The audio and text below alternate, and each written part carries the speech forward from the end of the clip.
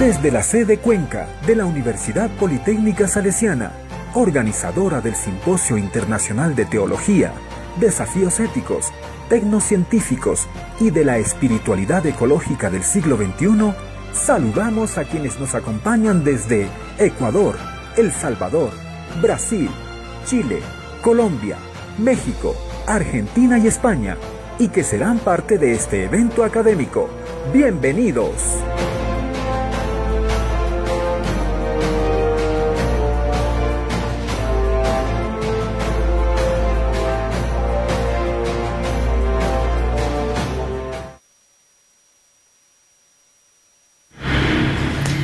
Buenas tardes, bienvenidos nuevamente a este Simposio Internacional de Teología, esta tarde para escuchar la conferencia del doctor Esteban Inga con el tema El ser humano frente al desarrollo tecnológico, un viaje desde la ciencia a la conciencia.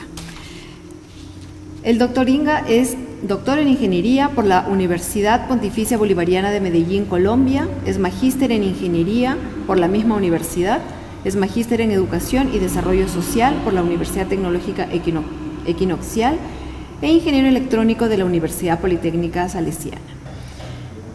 El doctor Inga es docente titular, cuenta con más de 17 años de experiencia en su labor universitaria. Actualmente dirige el programa de maestría en Tecnologías de la Información y Comunicación para la Educación de la Universidad Politécnica Salesiana, coordina el programa tecnológico de formación dual de la sede Quito, coordina también el Grupo de Investigaciones en Redes Eléctricas Inteligentes GIREI de la Universidad Politécnica Salesiana. Es miembro investigador acreditado por la CENESID y ha dirigido tesis doctorales y de maestría en Italia, Colombia, Chile y Ecuador. También ha sido parte de las comisiones que han generado programas de posgrado como redes eléctricas inteligentes, TICs para la educación y programas de grado como mecatrónica y telemática. Fue director de la carrera de Ingeniería, de Ingeniería Eléctrica entre el 2009 y el 2019. Esteban, buenas tardes, bienvenido, te escuchamos. Muchas gracias, eh, Mónica, por la presentación. Pues a continuación hago entrega de mi pantalla. Me confirman, por favor, si es que la están mirando.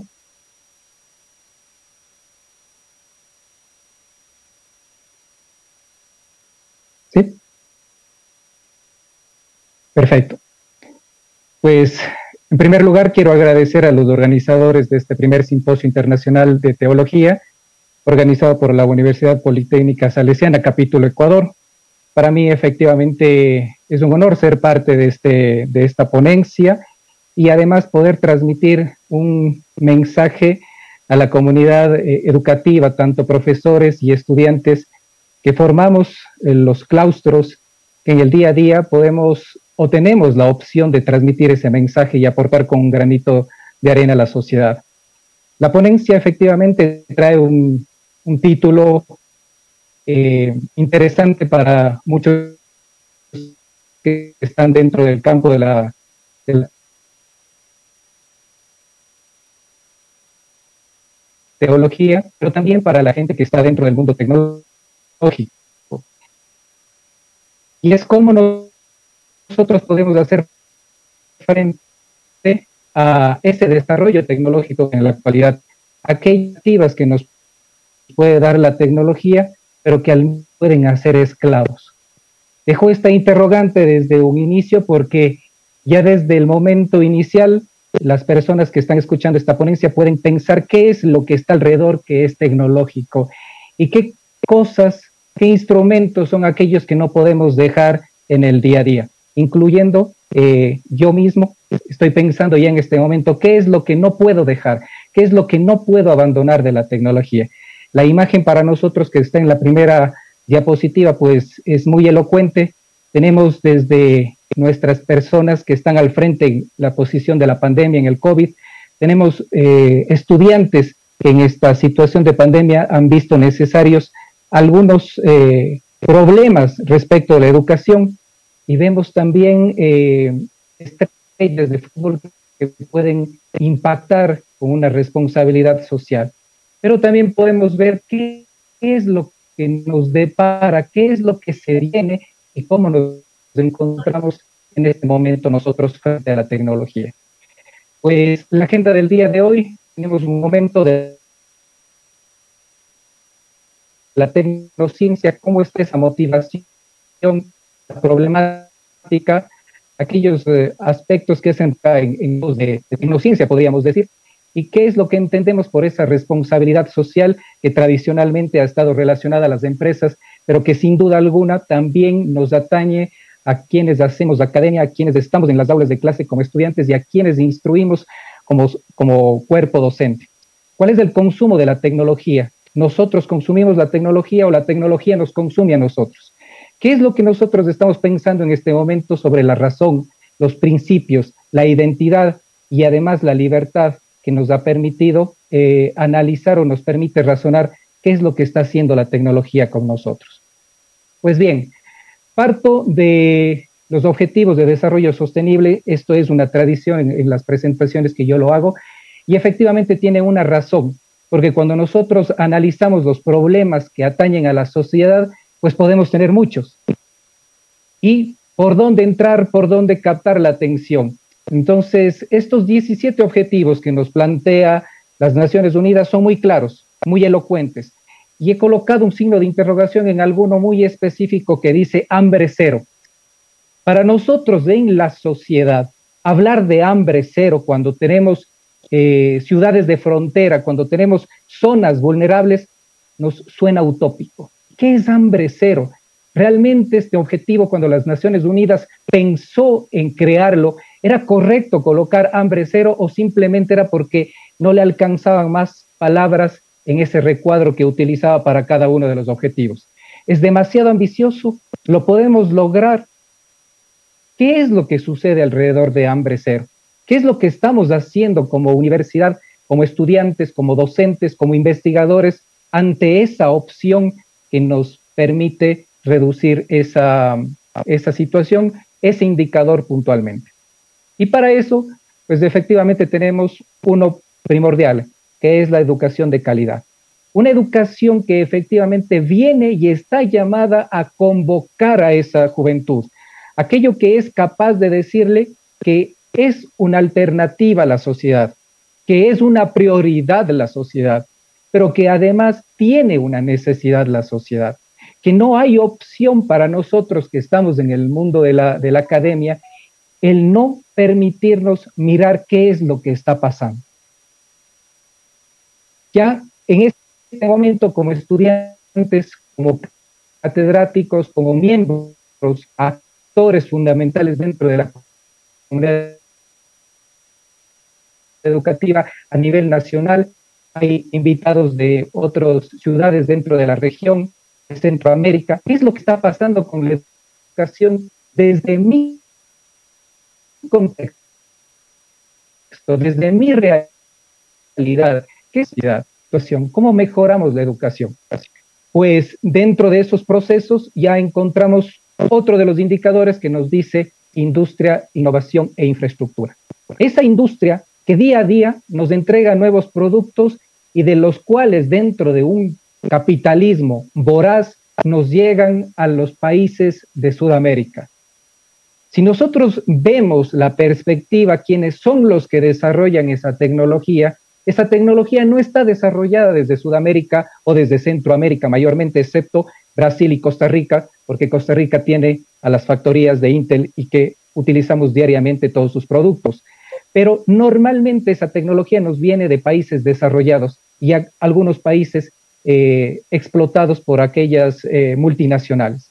Eso es lo que nos llega a nosotros. A nosotros nos llega el mercadeo, el marketing de los productos de la tecnología, que en la actualidad no podemos vivir sin esa tecnología, sin un ordenador de últimas prestaciones con alto rendimiento, sin un celular que nos permita verificar todos los documentos y quisiéramos que todo el mundo esté dentro de esos dispositivos.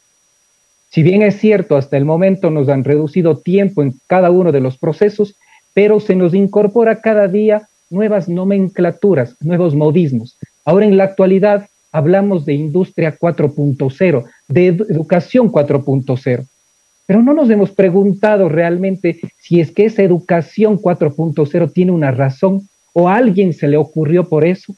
Si partimos de la revolución industrial y por los diferentes cambios que ha tenido, le vamos colocando un nombre o un sobrenombre a cada una de esas opciones. Hoy hablamos de millennials, hablamos de generaciones alfa y centralizamos todo. Nos, nos gusta, nos encanta al ser humano caracterizar todo, porque pensamos que al caracterizar cada una de las opciones lo vamos a resolver.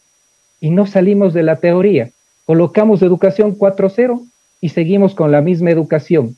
Ponemos industria 4.0 y la industria todavía no genera productos de valor agregado mayormente para exportación, sobre todo en países como Ecuador. Y además, ¿qué es lo que tenemos como producción y consumo responsables?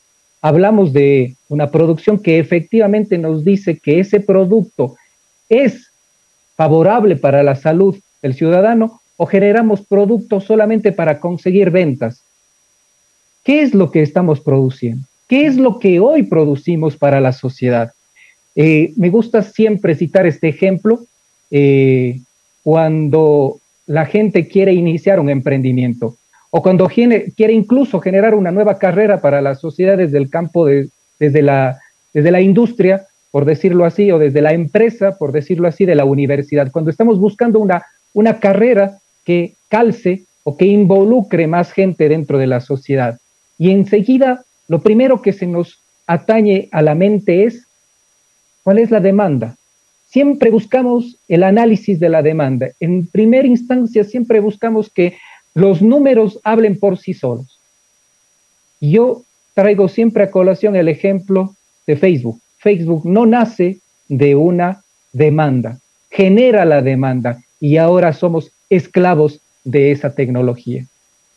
¿A qué momento a Mark Zuckerberg se le ocurrió hacer un análisis y un sondeo de verificar quién necesitaba tener una amistad? Yo recuerdo en aquellos tiempos cuando nacía Facebook todavía existía High Five y en la actualidad casi nadie ocupa High Five. Y entonces existió, hubo una necesidad de hacer un análisis de una demanda. ¿Y qué es lo que sucede cuando nosotros, el ente gubernamental, nos habla de que debemos colocar unas nomenclaturas, unos sobrenombres a las carreras y no estamos apostados a lo que realmente la juventud hoy necesita. Y entonces tenemos una relación totalmente desbalanceada en lo que las personas de cierta edad piensan y lo que la juventud hoy necesita, y lo que el mundo necesita y lo que la sociedad necesita. ¿Cómo llegar a un balance acuerdo, de acuerdo a cada una de las opciones, cómo negociamos esa opción, cómo llegamos a esos acuerdos. Y hablamos entonces de una cultura de tecnología versus los educadores de ciencia y tecnología. ¿Qué es lo tradicional? Nos llegó una pandemia sin haber esperado nada, pero esta pandemia ha sido justa y necesaria para sacarnos de la comodidad en la que estamos. Creo que la fotografía que está colocada en este momento es muy elocuente. Esa era la comodidad es una comodidad en la que nosotros estábamos, en la que ya no teníamos que preparar nada más porque ya estaba todo dicho. Y pues nos convertimos de la noche a la mañana en info pobres, pobres en conocimiento tecnológico.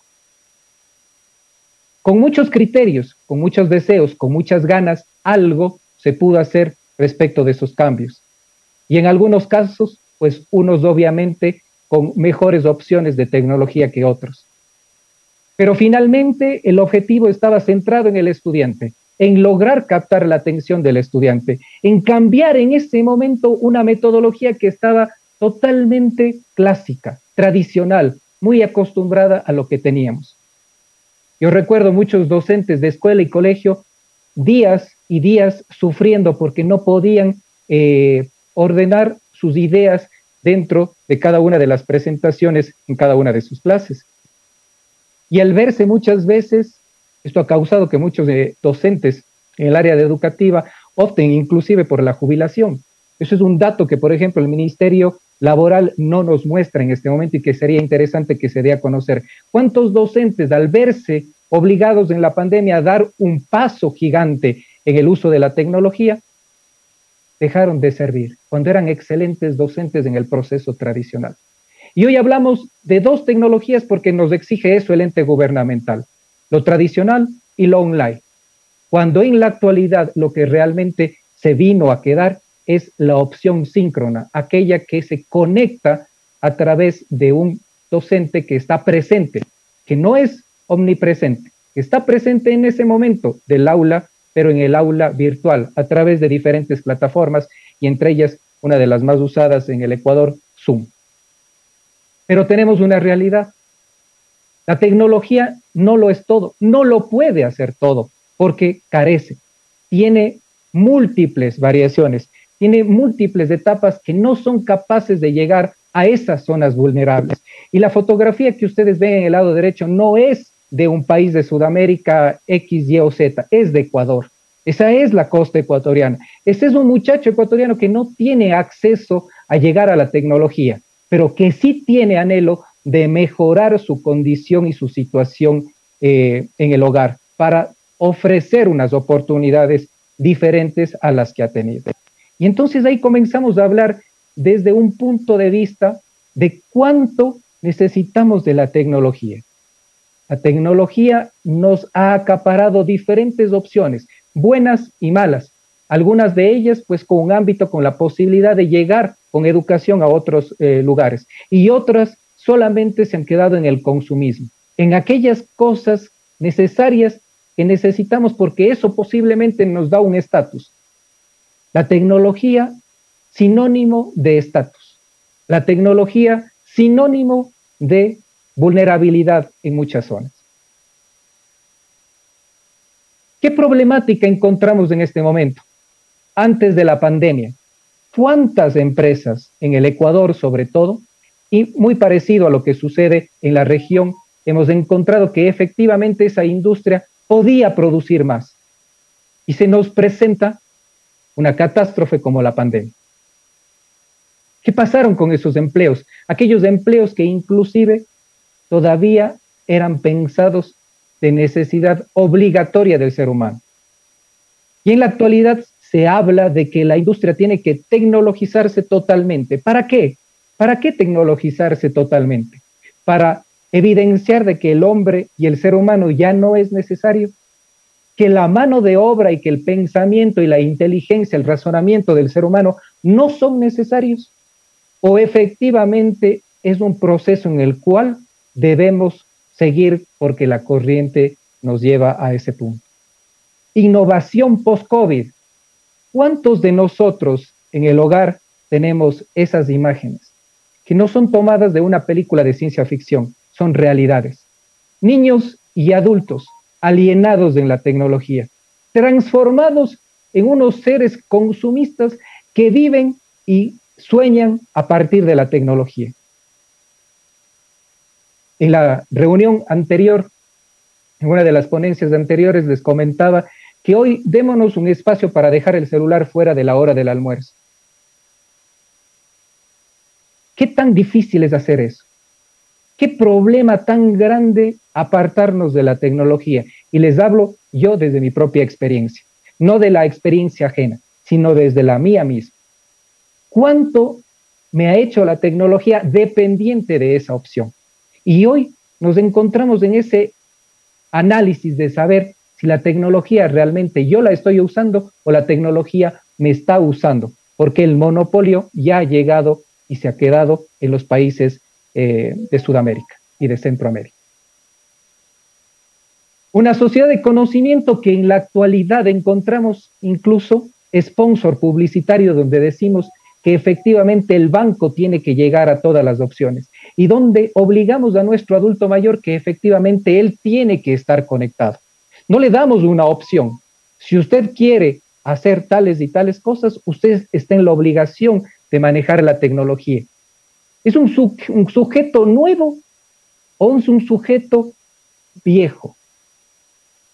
¿Es una edad adecuada o no es una e-, edad adecuada para adquirir ese conocimiento?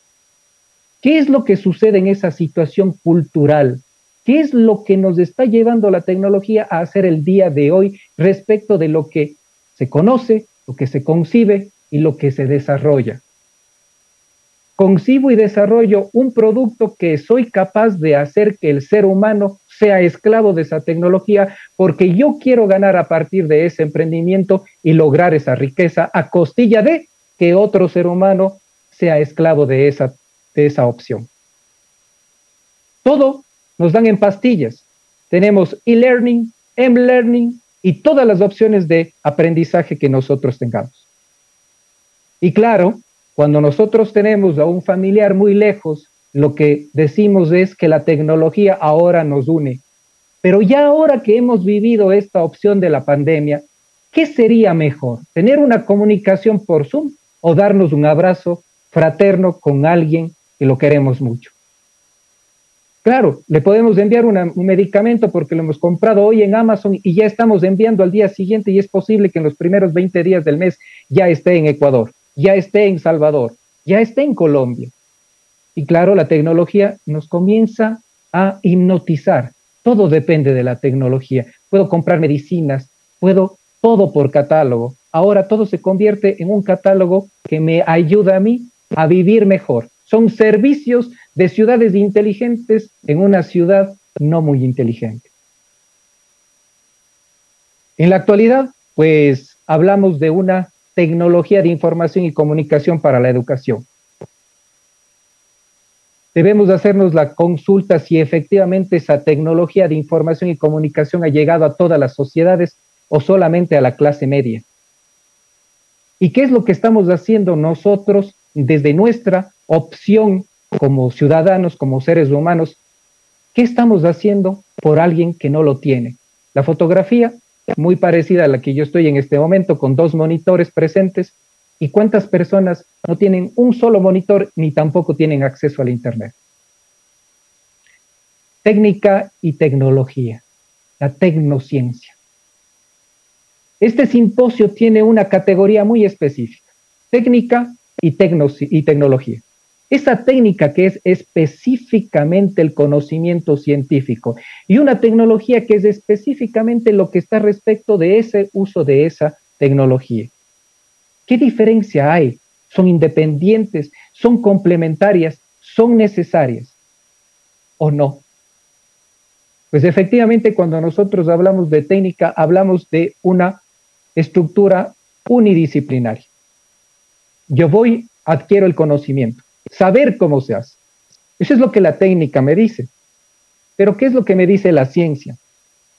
Voy más allá y verifico el saber de las cosas. ¿Por qué muchos eh, médicos les preocupa incluso hacer publicaciones en las diferentes revistas científicas de los avances sobre el COVID y qué es lo que están haciendo esas vacunas?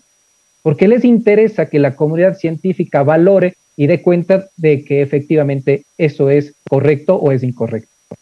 Y esa tecnología, aquellos procesos interdisciplinarios ya no es un, es un proceso unidisciplinario, ahora es interdisciplinario. Ya sé por qué de las cosas, ya sé cómo se hace, pero ahora debo saber cómo y por qué de eso. Opciones, técnica, ciencia y tecnología, yo estoy hablando de tecnociencia. Pero es una técnica, una ciencia y una tecnología 100% materialista o es factible o es proclive de humanizarla. ¿De quién depende eso? Depende, obviamente, del ser humano. ¿De qué tan factible yo pueda aglutinar estas ideas, transmitirlas, asimilarlas en mi mente y poderlas convertir en un valor agregado por bien de la sociedad? Encontramos un proceso de educadores de ciencia y tecnología. Hoy todo el mundo volcado a la necesidad de incluso aumentar el acceso de la educación.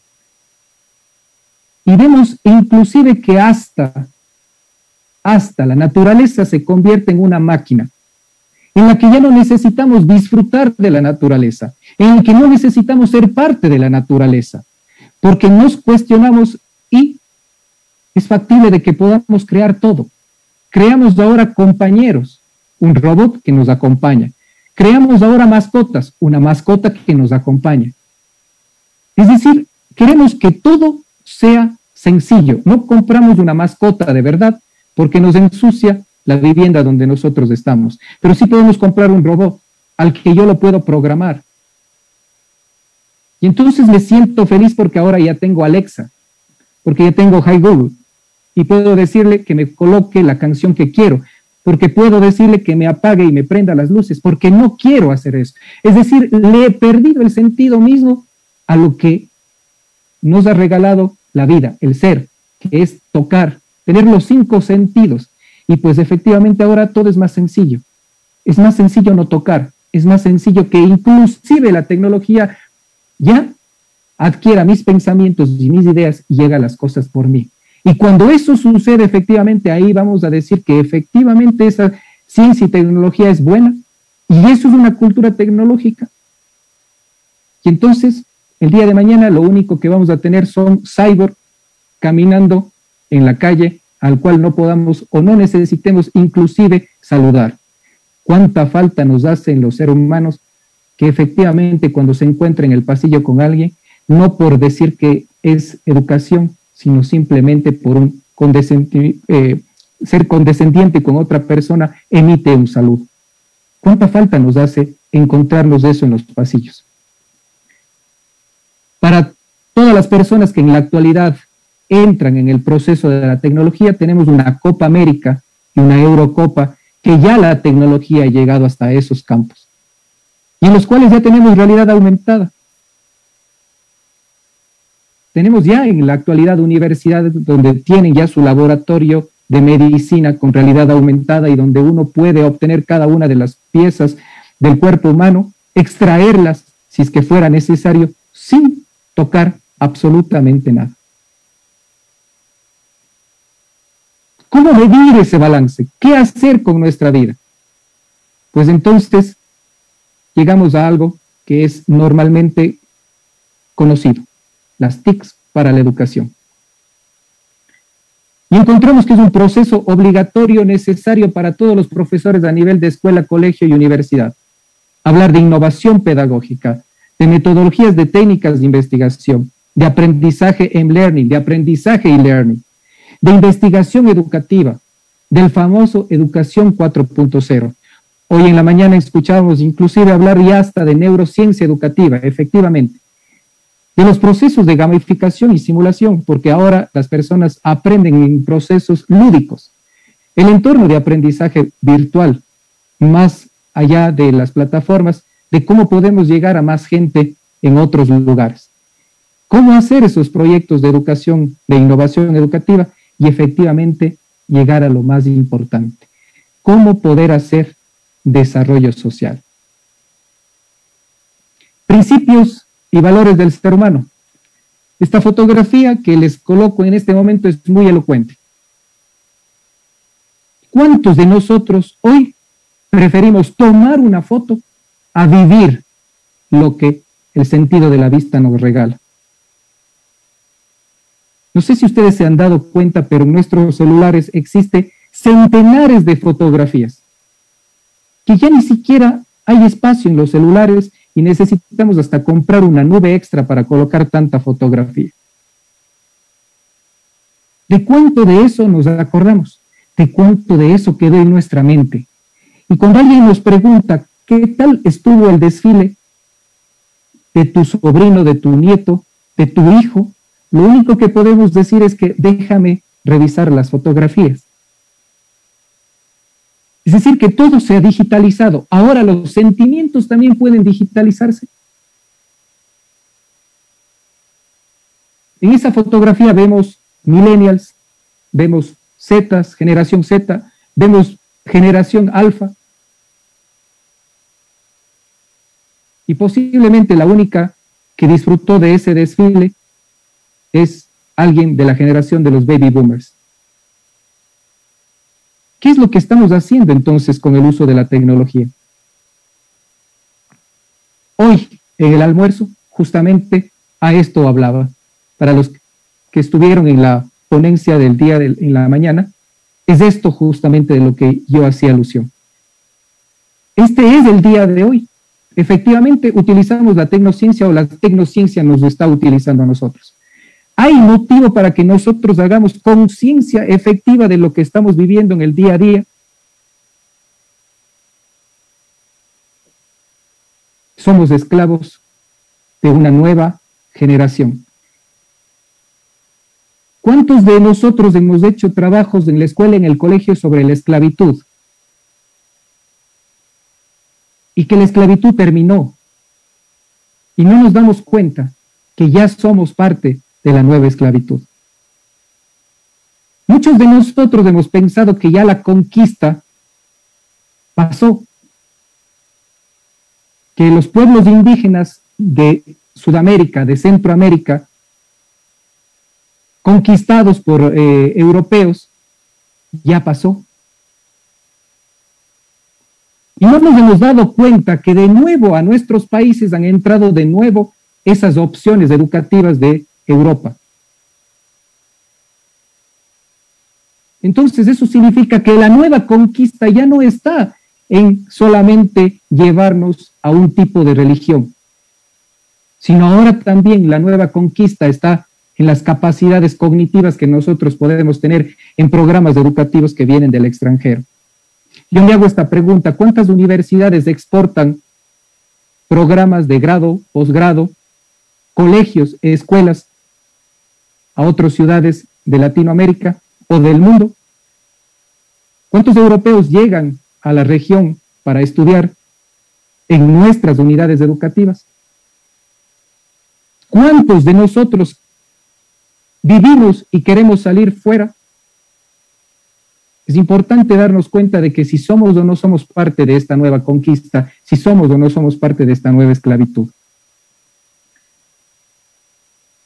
Para muchos, posiblemente, ahí hay un error en la escritura, la máquina de, de, Turing, esa máquina de Turing que nos ha llevado al proceso de la computación, al inicio de la computación, esa máquina que en sus inicios ayudó para descifrar mensajes en la Segunda Guerra Mundial y que pudo ayudar a reducir la muerte de muchas personas, ahora es parte fundamental de dispositivos mucho más pequeños.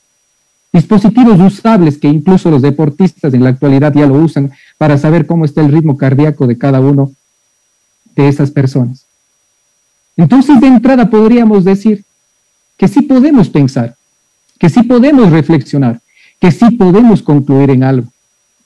Y en que no necesitamos perder la voluntad, que sí podemos valorar y evaluar la naturaleza de esa tecnología de donde nos viene si se han preguntado ustedes, yo me lo he hecho muchas veces esa pregunta, ¿por qué nos molestamos cuando nos suben los aranceles y no puede llegar al Ecuador, a Colombia?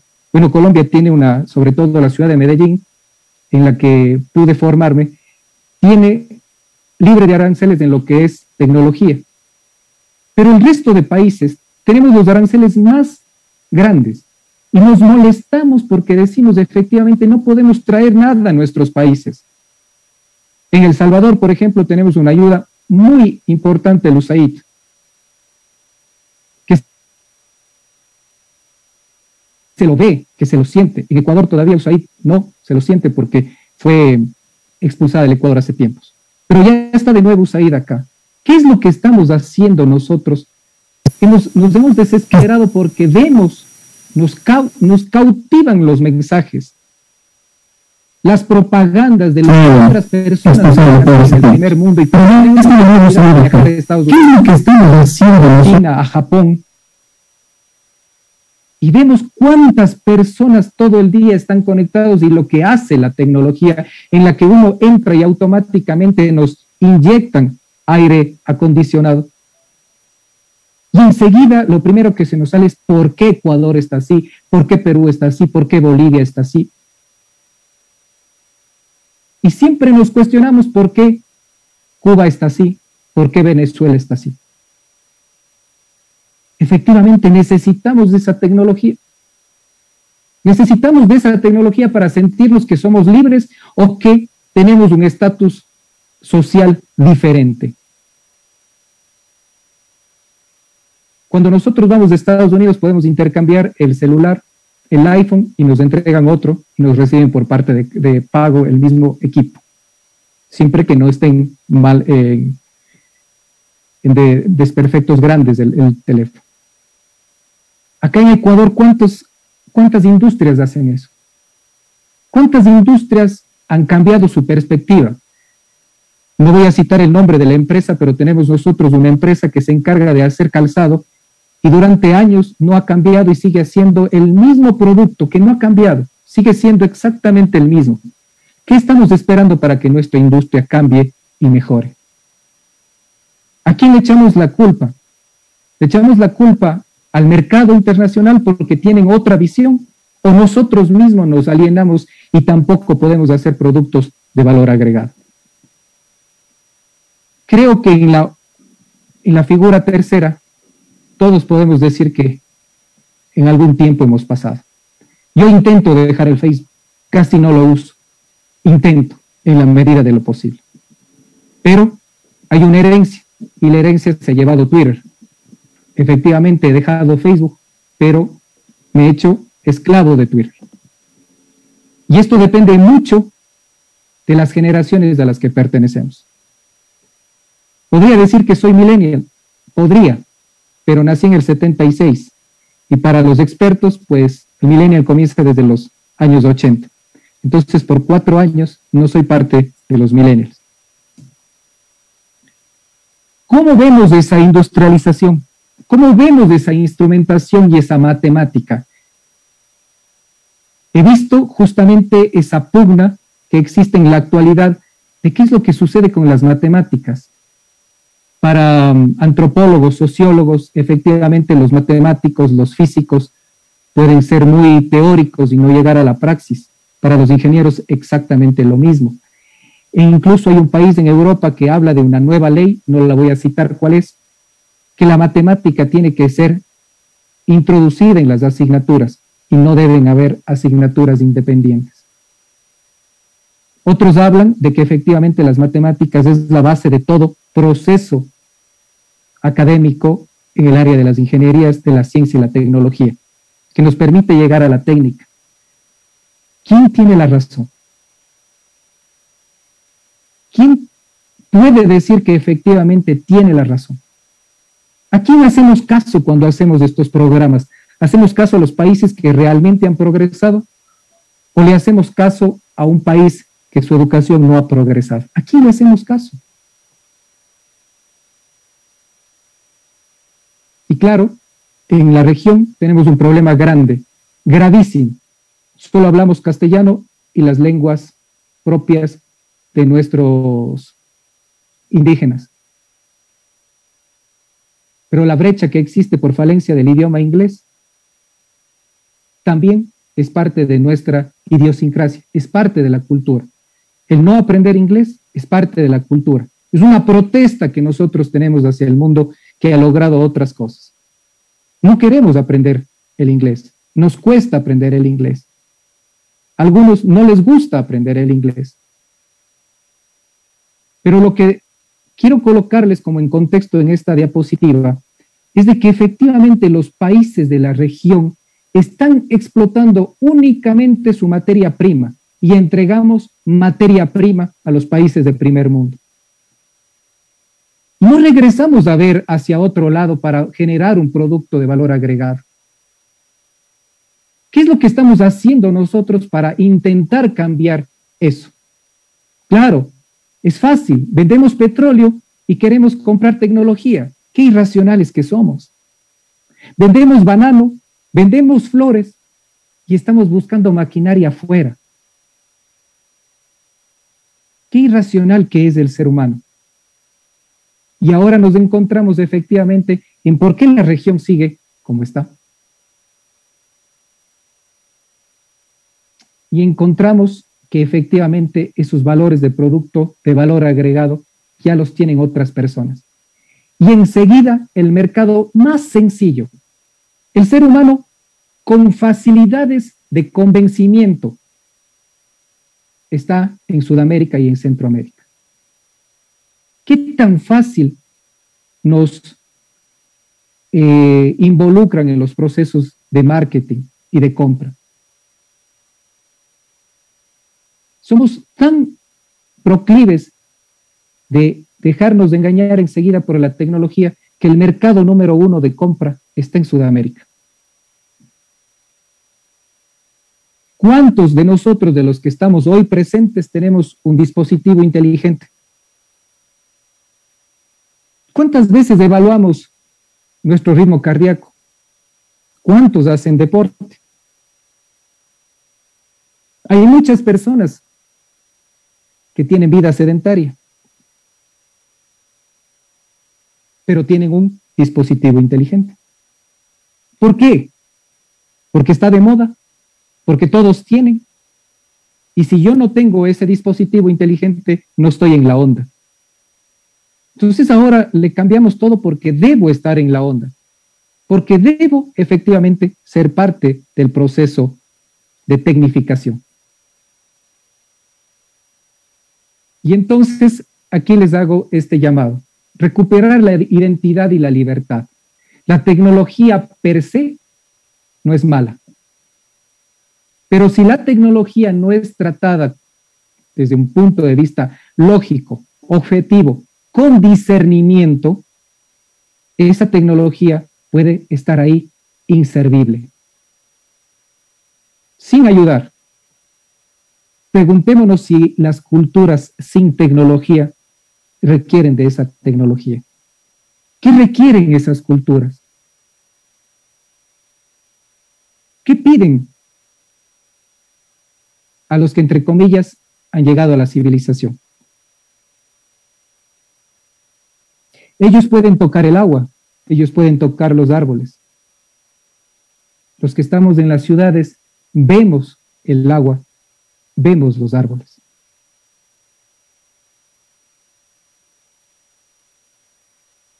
¿Qué estamos haciendo hoy? E intentamos pensar que las personas que no tienen acceso a la tecnología, pues no están en la onda. Si yo tengo un guaurani o un taromenani en este momento, que son una de las culturas indígenas de nosotros, de nuestro oriente ecuatoriano, y no tienen acceso a la tecnología, es porque no están en onda. Si vemos personas, seres humanos en el África, que no tienen acceso a alimentos y les llega un dispositivo, eso es, ese es el rostro que vemos, admiración. Pero con eso no resuelven el hambre. El futuro está en la educación técnica, es algo que siempre nos hemos hecho esa, consulta, esa tecnociencia, de cómo antes se verificaba, nosotros en la actualidad, definitivamente todo hemos permitido que las multinacionales lleguen al Ecuador. ¿Y qué ha pasado con eso? Pues efectivamente, nuestra educación no ha progresado. Brasil tiene acceso a la industria aeroespacial, y nosotros no. Entonces es hora y es momento de cambiar esas perspectivas. ¿Podemos o no podemos hacer ese cambio? Sí podemos hacer ese cambio. Eso está en los procesos educativos. Los niños que están ahí son niños ecuatorianos, no son de países de primer mundo.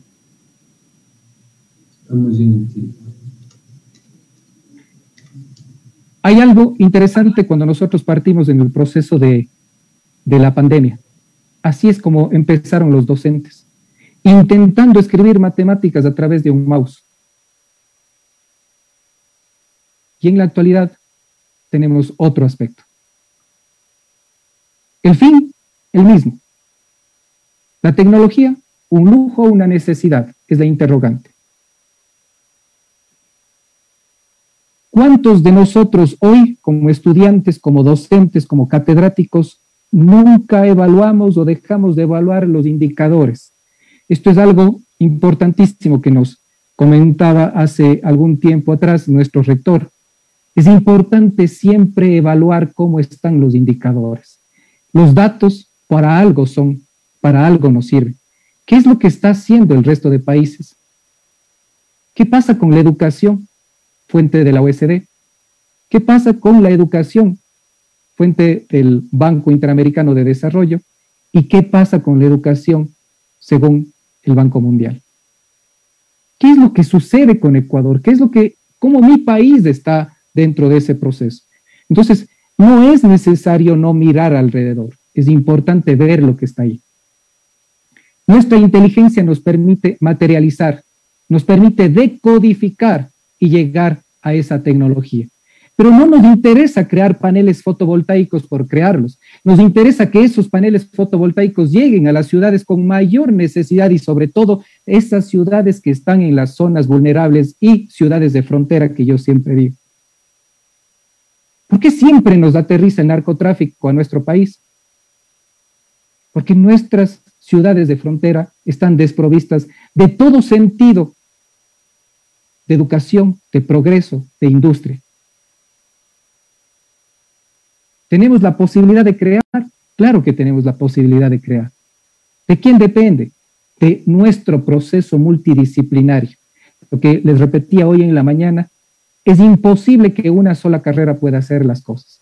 Es importante abrir a grupos de trabajo interdisciplinario, inclusive entre países, para poder seguir adelante, para poder avanzar. Y aquí les traigo un ejemplo, eh, que con esto ya vamos terminando. Esta es la industria. Así es como la vemos desde la parte de la técnica y la tecnociencia placas, PCBs, como los decimos nosotros los ingenieros, para algo aprendido en la academia. ¿Para qué? ¿Para qué hemos creado eso? ¿Para qué aprendimos a programar? ¿Para qué aprendimos a crear, a construir estas tarjetas electrónicas? Tal vez porque queremos aportar con la industrialización del agro. Nos hacemos ese interrogante. ¿Siempre para qué hacemos? ¿Hacemos transferencia de tecnología? ¿En dónde? ¿En qué sitios hacemos transferencia de tecnología? Necesitamos personas del área de marketing, del área de mercadeo, para generar modelos de negocio. Y finalmente, obviamente, esto es una responsabilidad social de la profesión, de las universidades, de los centros académicos, de esa orientación vocacional que tanta falta nos hacen los bachilleratos y que permita llegar a las universidades con un enfoque de esa juventud para ayudar a alguien. Con esto concluyo. Consumir es símbolo de desarrollo económico, es un estatus, en lugar de conclusiones yo podría decir interrogantes que tenemos que hacer. Un país que no produce, que no genera bienes y servicios de valor agregado, que vive solo de la materia prima, va a poder salir del, del lugar en el que estamos. La tecnología como tal nos permite generar calidad de vida bienestar laboral y social o nos permite vivir en una esclavitud perpetua. Es sencillo, es fácil liberarnos del tiempo, es decir, que nosotros podemos controlar la tecnología, la tecnología no nos ha controlado y nosotros podemos aumentar el tiempo de ocio. O en la pandemia hemos trabajado más de 12 horas, 15 horas y algunos hasta más. Aprender una lengua extranjera puntualmente el inglés, nos, nos contribuye al desarrollo y a la difusión de la cultura, o simplemente yo soy de Ecuador, amo mi país, amo el castellano y por esa razón nunca aprenderé inglés. Para crear, ¿qué se necesita? ¿Qué voy a crear? ¿Para quién voy a crear? Recordemos que si un producto de valor agregado funciona bien, para muchos, pues también nos generará rédito económico mañana. Muchas gracias. Bien, muchas gracias, eh, doctor. Agradecemos al doctor Esteban Inga que nos ha acompañado esta tarde en la mesa principal con la conferencia y el tema titulado El ser humano frente al desarrollo tecnológico, un viaje desde la ciencia hacia la conciencia. Ha destacado muchos puntos importantes que por honor al tiempo los voy a hacer muy rápido, en el sentido de tener una educación de calidad, en ver que cómo la, la tecnología nos ha ido esclavizando. Ha hablado también de la nueva revolución industrial 4.0. Muchas veces como esta industria nosotros nos va haciendo prisioneros y no nos deja desarrollarnos como seres humanos, ha planteado mucho el aspecto de la diferencia y el aporte que tiene entre la técnica y la tecnología, y ahí ha destacado lo que es la importancia de la educación. Y en la importancia de la educación resalta la invitación a la conciencia de cambio, una conciencia de cambio que debe partir del ser humano desde un aspecto muy comprometido.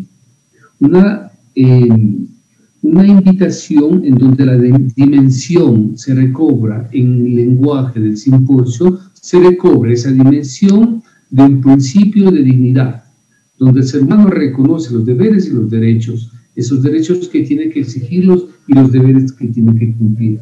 Y al final ha dado algunas pautas muy importantes destacando la libertad del ser humano como tal. Agradecemos la participación del doctor Esteban Inda y vamos a dar paso de pronto a una interrogante muy rápida y ojalá el doctor nos pueda responder porque a las 3 de la tarde seguimos con las mesas, pero sin embargo eh, tenemos una, un espectador anónimo que le felicita y le dice que si usted cree que el desarrollo de la ciencia y la tecnología nos permite evolucionar o involucionar. Adelante, doctor. Eh, muchas gracias por la consulta. Efectivamente, podríamos decir que existen las dos. La evolución de la tecnología, pues sin duda alguna existe. Y ha existido porque a partir del ser humano en su libertad genera y quiere y tiene la necesidad de progresar. Pero esto ha permitido que nuestros sentidos como seres humanos se hayan perdido y se hayan alienado. En ese sentido, pues el ser humano sí ha existido una involución. ¿Cuántas personas en este momento disfrutan del proceso de la naturaleza, del sentir de la naturaleza, del sentir de un diálogo amplio con un amigo versus la escritura técnica a través de WhatsApp? Entonces existen las dos. Es un, convivir de ambos procesos. Listo, doctor. Y sí, no dejemos con la inquietud de nuestro amigo Roberto Damas, que nos pregunta desde El Salvador Podría hablar entonces de procesos educativos de literacia en tecnociencia o tecnología como parte de la emergencia educativa. Una respuesta de pronto, amigo doctor Esteban, muy rápida, por favor, para ayudar por terminado. Definitivamente que sí. Este es un proceso que tiene que involucrarse dentro de los procesos educativos desde la sociedad, pero a nivel de primaria, secundaria y de la universidad. Es posible llegar a esto. Hay que hacer conciencia de que la ciencia per se pues nos puede causar muchos problemas a futuro. Es importante tomar en cuenta que el ser humano en su calidad de, ser libre puede tomar acción ante esto. Perfecto, doctor Esteban Inga. Un agradecimiento por parte de todos quienes somos organizadores de este simposio. Le agradecemos por esa voluntad y también por ese aporte cognitivo que ha dado y esa riqueza al simposio. Nos deja grandes interrogantes y de eso se trata de que con eh, estas interrogantes nosotros podamos generar un nuevo conocimiento. Un abrazo a la distancia y invitamos a todos y agradecemos por la participación eh, en esta mesa principal y les invitamos ahora a unirnos a las diferentes ejes temáticos de acuerdo a usted, que ustedes crean conveniente. Buenas tardes a todos, un abrazo a la distancia desde acá, desde Quito, un saludo y muchas gracias, doctor.